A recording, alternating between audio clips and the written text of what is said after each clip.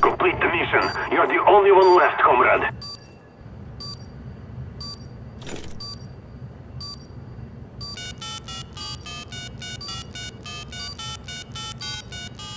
Bomb deactivated.